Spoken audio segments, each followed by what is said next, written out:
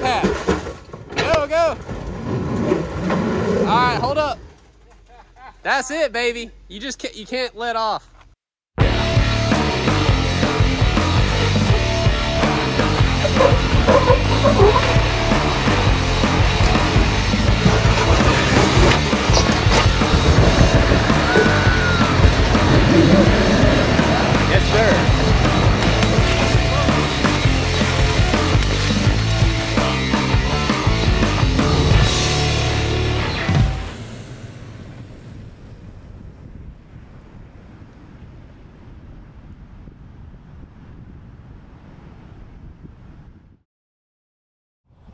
This is the Ironman bumper, uh, front bumper for the 100 Series Land Cruiser.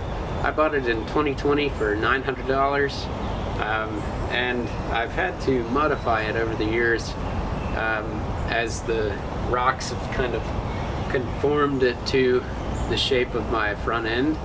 Um, I thought I'd take you through some of the mods that I've done to it um, and a few things that I've learned along the way. I honestly still recommend this bumper to someone who's looking for a, a budget option.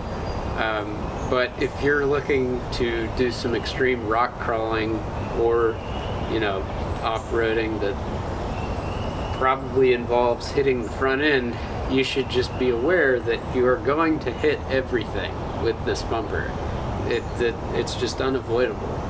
Um, it's not high clearance, but it works if you reinforce it.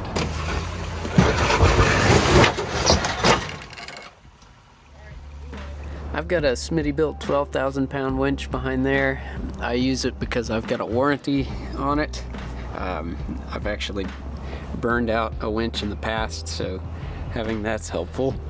But you can see some of the, the damage from from the rocks. Um, like I said, you'll probably wind up hitting this bumper on virtually every obstacle you encounter if you're doing heavy off-roading. Um, it's not designed for high clearance, but it is pretty stout. Um, and it's also it's rated for a uh, for airbag safety in Australia, which is why there are these crumple zones here um, and one on the other side. Uh, but if you want to reinforce it in such a way that it will not just fold in all the time, you've got to make it essentially less safe for the road. Um, so it's a balance of what what you're looking for in a bumper. Um, I've actually welded. There are two pieces. There's the frame mount, which is also the winch mount. You can see the winch back back up in there. Um, and then there's the actual the wing and the the fascia. I welded those two pieces together. Um, and actually on this side my weld broke free so I'm gonna have to re-weld that in just a minute here but on this side it's still mostly held together um, these bolts here well that one there that really long one is an upgraded bolt uh, from the ones that are provided in the kit because I actually sheared two of them off um, one on both sides, one on each side, um, which are supposed to hold the uh, the bumper in place. well, I don't think they're doing a very good job anymore. Uh, cracked off a nice piece of trim, ruined my coax run for the antenna.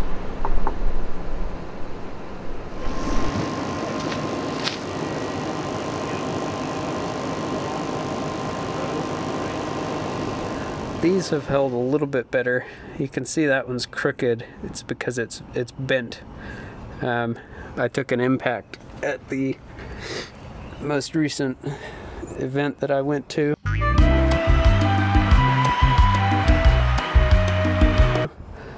Um, and it kind of folded in. The toe points are sold separately, but they actually work great for um, you know, you'll just like come up to a rock and smack the the toe point, which is why all the powder coat is completely gone. But it does a great job of protecting everything up in here, which would then be hit if you don't have a skid plate system. Um, I've had a skid plate system, but it's just the factory front, and I'm getting rid of it pretty soon. When the front of the bumper gets hit, the wing smashes up into the fender, and it will close this gap between your hood and fender. On this side, it's a little bit more exaggerated, but um, you can tell that gap is much, much closer than it ought to be. Um, and that's because this this piece smashed in there. So I went ahead and removed a lot of material from the bumper just to avoid that. I drilled a few holes and bolted the controller to the front of the bumper here. And then I also wired up a switch to the cabin so that I can control my winch from the driver's seat. Um, but this way, it's all easily accessible. Anybody could could grab it. And I do really like the fact that they have these massive holes um, so that you can reach in and turn your winch uh, to free spool or engage the clutch, which is super helpful. Um, the rubber bumpers have all but pretty much come off on uh, on this one. It actually did tear away.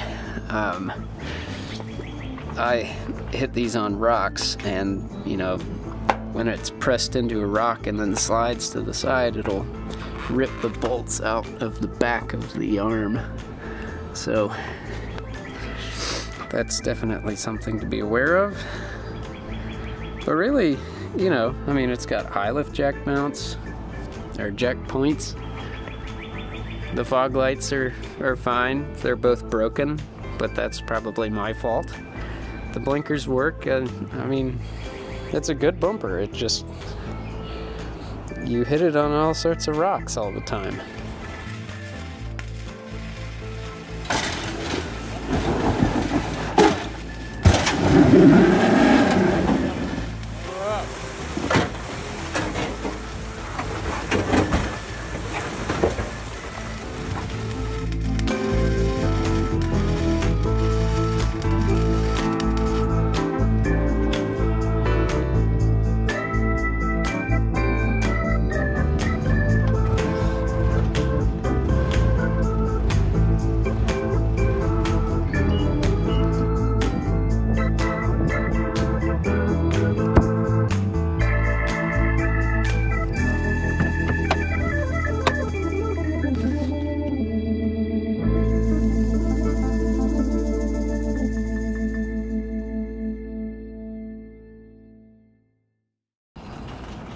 Well, those are some of the worst looking welds I've ever seen, but, you know, I think they'll hold. I guess we'll find out.